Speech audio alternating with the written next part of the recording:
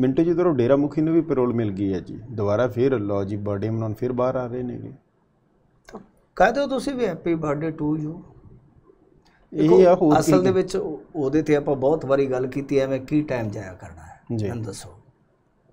ਮੈਂ ਇੱਕ ਰਾਏ ਦੇ ਦੂੰਗਾ ਜੇ ਇਸ ਮਾਮਲੇ ਦੇ ਵਿੱਚ ਕਿਸੇ ਨੇ ਬਹੁਤੀ ਟੈਕਨੀਕਲਿਟੀ ਜਾਣਨੀ ਹੈ ਤਾਂ ਹੁਣੇ ਹੀ ਸਾਡੇ ਪੇਜ ਤੇ ਅੰਸ਼ੁਲ ਛਤਰਪਤੀ ਦੇ ਨਾਲ ਜਿਹੜੀ ਤੁਸੀਂ ਗੱਲਬਾਤ ਕੀਤੀ ਉਹ ਪਾਈ ਵੀ ਹੈ। ਜੀ। ਤਾਂ ਉਹਦੇ 'ਚ ਅੰਸ਼ੁਲ ਨੇ ਸਾਫ਼ ਦੱਸਿਆ ਅੰਸ਼ੁਲ ਛਤਰਪਤੀ ਕੁਝ ਲੋਕਾਂ ਨੂੰ ਸ਼ਾਇਦ ਪਤਾ ਨਹੀਂ ਹੋਏਗਾ। ਜੀ। ਕਿ ਇਹ ਜਿਹੜੇ ਪੱਤਰਕਾਰ ਛਤਰਪਤੀ ਜਿਨ੍ਹਾਂ ਦੇ ਕਤਲ ਦਾ ਕੇਸ ਚੱਲਿਆ ਇਹਦੇ ਤੇ ਡੇਰਾ ਮੁਖੀ ਤੇ। ਜੀ। ਉਹਦੇ ਬੇਟੇ ਨੇ ਤੇ ਇਤਫਾਕਨ ਇਹਨਾਂ ਦੇ ਨਾਨਕੇ ਨੇ ਇੱਥੇ ਪੰਜਾਬ 'ਚ। ਪੰਜਾਬ ਇਹਨਾਂ ਦਾ ਨਾਨਕਾ ਹੈ। ਹਾਂਜੀ। ਛਤਰਪਤੀ ਹੋਰਾਂ ਦਾ ਅੰਸ਼ੁਲ ਹੋਰਾਂ ਦਾ। ਜੀ। ਬਹੁਤ ਪੁਰਾਣਾ ਹੈ। ਮੈਂ ਰੇਡੀਓ ਕਰਦਾ ਹੁੰਦਾ ਸੀਗਾ ਉਸ ਸਮੇਂ ਦੇ ਜਾਣਦੇ ਤੇ ਉਹ ਮੈਂ ਇੰਟਰਵਿਊ 'ਚ ਜਦੋਂ ਇਹਨਾਂ ਦੇ ਨਾਲ ਗੱਲਬਾਤ ਸ਼ੁਰੂ ਕੀਤੀ ਨਾ ਉਦੋਂ ਰੇਡੀਓ ਤੇ ਹੁੰਦਾ ਸੀ ਮੈਂ ਤੇ। ਇਹਨਾਂ ਨੇ ਜਦੋਂ ਦੱਸਿਆ ਕਹਿੰਦੇ ਵੀ ਪੰਜਾਬ ਤੇ ਸਾਡਾ ਨਾਨਕਾ ਹੈ। ਜੀ। ਜਿਵੇਂ ਪੁੱਛਿਆ ਕਿੱਥੇ? ਕਹਿੰਦੇ ਜੀ ਫਿਰੋਜ਼ਪੁਰ। ਤੇ ਕਹਿੰਦੇ ਜੀ ਸਾਨੂੰ ਆਪਣੇ ਨਾਨਕਿਆਂ ਨਾਲ ਹੀ ਗਿਲਾ ਹੈ ਕਿ ਇੱਥੋਂ ਦੇ ਲੀਡਰ ਹੀ ਉੱਠ ਕੇ ਤੇ ਸਾਨੂੰ ਦਬਾਉਣ ਆ ਗਏ ਸਾਡੇ ਨਾਲ ਸਮਝੌਤਾ ਕਰਾਉਣ ਆ ਗਏ ਸਨ। ਜੀ। ਟੈਚੀ ਭਰ ਕੇ। ਜੀ। ਆ ਗੱਲ ਉਦੋਂ ਉਹਨਾਂ ਨੇ ਕਹੀ ਸੀ ਇਹ ਗੱਲ ਸ਼ਾਇਦ 2013 14 ਦੇ ਆਸ-ਪਾਸ ਦੀ ਹੋਏਗੀ। ਜੀ। ਤਾਂ ਖੈਰ ਜਿਨੇ ਤਫਸੀਲ ਨਾਲ ਜਾਣਨਾ ਇਸ ਮੁੱਦੇ ਨੂੰ ਕਿ ਪੈਰੋਲ ਜਾਂ ਜਿਹੜੀ ਵਕਤੀ ਜ਼ਮਾਨਤ ਉਹ ਕਿਵੇਂ ਮਿਲ ਰਹੀ ਹੈ ਜੀ। ਤਾਂ ਉਹ ਹੁਣੇ ਤੁਸੀਂ ਜਾ ਕੇ ਦੇਖ ਸਕਦੇ ਹੋ। ਹੁਣੇ ਤਾਂ ਨਾ ਜਾਇਓ ਤੁਸੀਂ ਸਾਨੂੰ ਛੱਡ ਕੇ ਚਲੇ ਜਾਓਗੇ। ਨਾ ਜਾਵੇ। ਹਾਂਜੀ ਹਾਂਜੀ। ਤੇ ਤੁਸੀਂ ਬਾਅਦ ਦੇ ਵਿੱਚ ਜਾ ਕੇ। ਦੇਖ ਲੈਣਾ।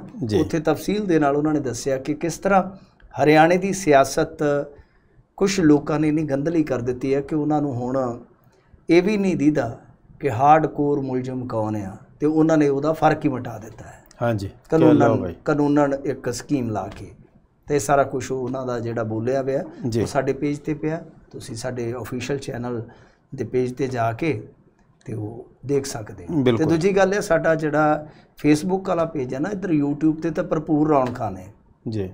ਸਾਡੀ ਦਰਖਾਸਤ ਇਹ ਵੀ ਹੈ ਕਿ ਸਾਡਾ ਜਿਹੜਾ ਕਿਉਂਕਿ ਇੱਕ ਪੇਜ ਤੇ ਜਿਹੜਾ ਲੇਖੇ ਲੱਗ ਗਿਆ ਸੀ ਉਮਰਾਂ ਦੇ ਲੇਖੇ ਲੱਗ ਗਏ ਉਹ ਜਿਵੇਂ ਸੱਜਣ ਅਦੀਬ ਨੇ ਗਾਇਆ ਸੀ ਨਾ। ਹਾਂਜੀ।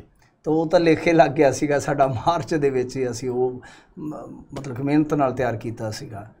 ਤੇ ਉਸ ਤੋਂ ਬਾਅਦ ਇੱਕ ਨਵਾਂ ਤਿਆਰ ਕੀਤਾ ਹੋਇਆ ਸਾਡਾ ਸਫਾ ਜਿਹੜਾ। ਫੇਸਬੁੱਕ ਵਾਲਾ ਉਹਨੂੰ ਪਲੀਜ਼ ਇੱਕ ਤੇ ਜ਼ਰੂਰ ਤੁਸੀਂ ਫੋਲੋ ਵਾਲਾ ਠੁੰਗਾ ਮਾਰੋ ਲਾਈਕ ਵਾਲਾ ਤੇ ਬਾਕੀ ਜੇ ਐਫਰਟਸ ਕੋਸ਼ਿਸ਼ਾਂ ਚੰਗੀਆਂ ਲੱਗਦੀਆਂ ਤੇ ਉਹਨੂੰ ਸ਼ੇਅਰ ਜ਼ਰੂਰ ਕਰ ਦਿਓ।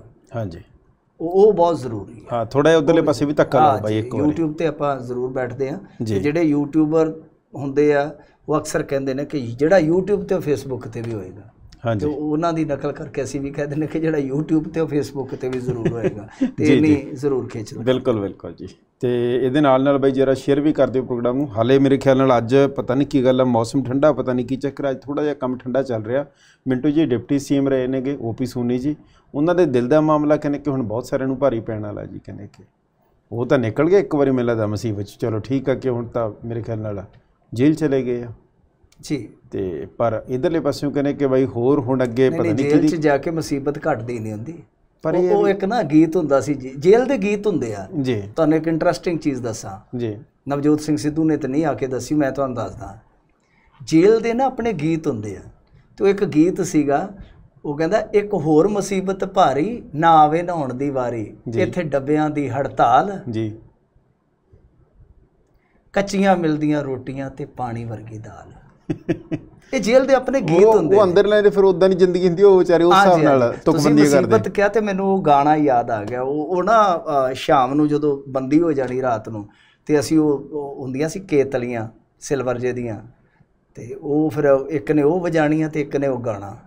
ਤੇ ਉਹਦੇ ਚੋਂ ਪੰਕਤੀ ਯਾਦ ਆ ਗਈ ਤੁਸੀਂ ਆਖਿਆ ਮੁਸੀਬਤ ਖਤਮ ਹੋ ਗਈ ਮੁਸੀਬਤ ਜੇਲ੍ਹ ਦੀ ਆਪਣੀ ਮੁਸੀਬਤ ਹੈ। ਮੈਂ ਵਿਜੀਲੈਂਸ ਵਾਲੇ ਪਾਸੇ ਕਿਹਾ ਵੀ ਇੱਕ ਵਾਰੀ ਉਹ ਜਿਹੜੇ ਚਾਰ ਸਰਾਣੇ ਖੜੇ ਸੀਗੇ ਵੀ। ਉਹਨੇ ਪਾਸੇ ਨਾ ਨਾ ਨਾ ਟਲ ਗਿਆ। ਨਾ ਮੁਸੀਬਤ ਇੱਥੋਂ ਟਲ ਜਾਂਦੀ ਹੈ ਬਿਲਕੁਲ ਥਾਣੇੋਂ ਟਲ ਜਾਂਦੀ ਉੱਥੇ ਵੀ ਮੁਸੀਬਤ ਰਹਿੰਦੀ ਹੈ।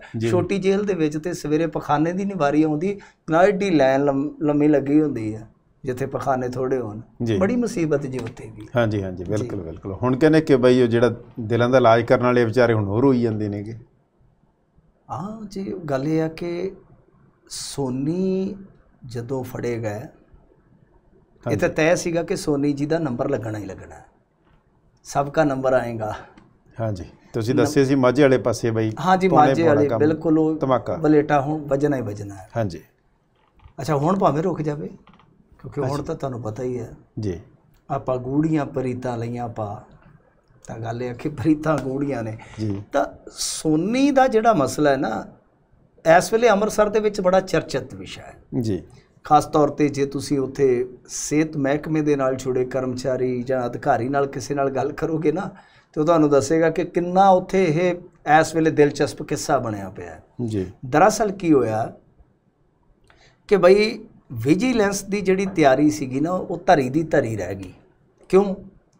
10 ਨੂੰ ਗ੍ਰਿਫਤਾਰੀ ਹੁੰਦੀ ਆ ਤੇ 18 ਤਰੀਕ ਤੱਕ ਸੋਨੀ ਸਾਹਿਬ ਜਿਹੜੇ ਆ, ਉਹ ਹਸਪਤਾਲ ਦੇ ਬੈੱਡ ਤੇ ਮਿਲਦੇ ਆ। ਤੇ ਗਾਂ ਇੱਕ ਅੱਧ ਦਿਨ ਗੁਜ਼ਰਦਾ ਤੇ ਫਿਰ ਉਹਨਾਂ ਨੂੰ ਮੁੜ ਕੇ ਜੁਡੀਸ਼ੀਅਲ ਕਰ ਦਿੱਤਾ ਜਾਂਦਾ, ਜੇਲ੍ਹ ਚ ਘਲਾ ਦਿੱਤਾ ਜਾਂਦਾ।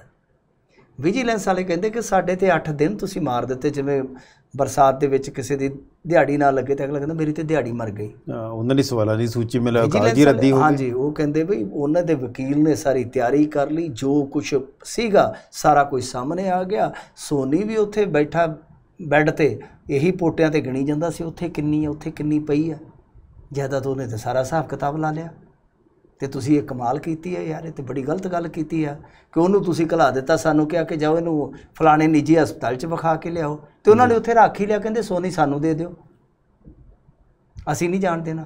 ਉਹ ਕਹਿੰਦੇ ਵੀ ਅਸੀਂ ਕੀ ਕਰਦੇ? ਹੁਣ ਡਾਕਟਰਾਂ ਦਾ ਹੁਕਮ ਤੁਹਾਨੂੰ ਪਤਾ ਡਾਕਟਰਾਂ ਦਾ ਹੁਕਮ ਵੀ ਬੜਾ ਕਸੂਤਾ ਹੁਕਮ ਹੁੰਦਾ। ਪੁਲਿਸ ਵਾਲੇ ਦੀ ਮਜ਼ਾਲ ਨਹੀਂ ਹੈ। ਜੇ ਉਹਨਾਂ ਨੇ ਅਨਫਿਟ ਲਿਖ ਦਿੱਤਾ ਜਿੱਡਾ ਮਰਜ਼ੀ ਤਗੜਾ ਕ੍ਰਿਮੀਨਲ ਹੈ ਪੁਲਿਸ ਵਾਲਿਆਂ ਦੀ ਮਜ਼ਾਲ ਨਹੀਂ ਹੈ ਕਿ ਵਾਰਡ ਦੇ ਵਿੱਚ ਵੀ ਵੜ ਜਾਣਗੇ ਪੁੱਛਗਿੱਛ ਵਾਸਤੇ। ਇਹਨਾਂ ਨੇ ਵੀ ਉਹ ਇੱਕ ਵੀਸੀਜੀ ਕੀਤੀ ਜਾ ਕੇ ਉਹਦਾ ਵੀ ਰੌਲਾ ਪੈ ਗਿਆ। ਔਰ ਫਿਰ ਉਹਨਾਂ ਦਾ ਵਕੀਲ ਉੱਥੇ ਹਾਜ਼ਰ ਰਿਹਾ ਮੌਕੇ ਤੇ। ਹਜ਼ੂਰ ਜ਼ੇਰੇ ਇਲਾਜ ਹੈ ਨਾ ਜਿਹੜਾ ਬੰਦਾ? ਡਾਕਟਰਾਂ ਦੀ ਚੱਲਣੀ ਹੈ ਉੱਥੇ। ਉਹ ਤੋਂ ਮਾਮਲਾ ਦਿਲ ਦਾ। ਬਿਲਕੁਲ ਉੱਤੋਂ ਮਾਮਲਾ ਦਿਲ ਦਾ। ਦਿਲ ਦਾ ਮਾਮਲਾ ਤੇ ਤੁਹਾਨੂੰ ਪਤਾ ਹੀ ਨਾ ਕਿੰਨਾ ਖਤਰਨਾਕ ਹੁੰਦਾ ਹੈ। ਜੀ। ਤਾਂ ਖੈਰ ਦਿਲ ਦਾ ਮਾਮਲਾ ਵੀ ਹੈ ਬਿੱਲ ਦਾ ਮਾਮਲਾ ਵੀ ਹੈ ਨਾ। ਵਿਜੀਲੈਂਸ ਬਿੱਲ ਵੀ ਬਣਾਈ ਫਿਰਦੀ ਹੈ। ਤੇ ਖੈਰ ਹੁਣ ਦੇਖੋ ਗੱਲ ਇਹ ਹੈ ਕਿ ਜਦੋਂ ਸਿਹਤ ਮਹਿਕਮੇ ਤੇ ਡਿੱਗੀ ਗਾਜ਼ ਉਹਨਾਂ ਨੇ ਆਖਿਆ ਕਿ ਇਹ ਤਾਂ ਤੁਸੀਂ ਬਹੁਤ ਕਸੂਤਾ ਕੰਮ ਕੀਤਾ ਹੈ। ਜਿਹੜਾ ਇੱਕ ਹੁੰਦਾ ਨਾ ਐਮਰਜੈਂਸੀ ਮੈਡੀਕਲ ਆਫੀਸਰ ਹਾਂਜੀ। ਹੁਣ ਗਾਜ਼ ਡਿੱਗੀ ਉਹਦੇ ਤੇ। ਉਹ ਕਹਿੰਦੇ ਵੀ ਤੂੰ ਭੇਜਿਆ ਜਦੋਂ ਕਿ ਇੱਥੇ ਕਾਰਡੀਓਲੋਜੀ ਬੋਲਦੇ ਆ ਨਾ ਉਹ। ਹਾਂਜੀ ਨਿਊਰੋਲੋਜੀਕਲ ਚਲੋ ਦਿਲ ਦੇ ਰੋਗਾਂ ਨੇ ਮਾਹਰ ਆ ਦਿਲ ਦੇ ਰੋਗਾਂ ਦਾ ਤੇ ਨਿਊਰੋਲੋਜੀਕਲ ਉਹ ਕਹਿੰਦੇ ਕਿ ਇਹ ਸਾਰੇ ਜਿਹੜੇ ਸਪੈਸ਼ਲਿਸਟ ਸੀ ਉਹ ਜਦੋਂ ਗਵਰਨਮੈਂਟ ਮੈਡੀਕਲ ਕਾਲਜ ਚ ਮੌਜੂਦ ਸੀ ਤੇ ਭਾਈ ਤੂੰ ਉੱਥੇ ਕਿਉਂ ਨਹੀਂ ਭੇਜਿਆ? ਉਹ ਕਹਿੰਦਾ ਜੀ ਕਿ ਦੇਖੋ ਮੈਂ ਕੋਈ ਦਾਖਲ ਵਾਸਤੇ ਥੋੜੀ ਭੇਜਿਆ ਇਹਨਾਂ ਦਾ ਤੇ ਮੈਨੂੰ ਪਤਾ ਹੀ ਨਹੀਂ ਸੀ। Emergency medical officer mister Devgan EMO ਬੋਲਦੇ ਜਿਨ੍ਹਾਂ ਨੂੰ। ਹਾਂਜੀ। ਈਐਮਓ। ਉਹ ਕਹਿੰਦੇ ਜੀ ਆਪਾਂ ਨੂੰ ਤਾਂ ਪਤਾ ਹੀ ਨਹੀਂ ਕਿ ਸਪੈਸ਼ਲਿਸਟ ਹੈਗੇ ਨੇ। ਹੈ? ਇਹ ਕੀ ਚੱਕਰ ਬਣਿਆ? ਹੋ ਸਕਦਾ ਜੀ ਉਹਨਾਂ ਦੀ ਯਾਦਾਸ਼ਤ ਨਾ ਉਸ ਵੇਲੇ ਕੰਮ ਕੀਤੀ ਹੋਵੇ। ਕਹਿੰਦੇ ਕਿ ਦੇਖੋ ਮੈਂ ਓਪੀਨੀਅਨ ਲੈਣ ਭੇਜਿਆ ਸੀਗਾ। ਮੈਂ ਕੋਈ ਦਾਖਲ ਵਾਸਤੇ ਨਹੀਂ। ਉਹ ਕਹਿੰਦੇ ਬਦਲੀ ਕਰੋ ਇਹਨਾਂ ਦੀ। ਬਦਲਾਅ ਅੱਜ ਕੱਲ ਬਦਲੀ ਬੜੀ ਕਰਦਾ ਜੇ।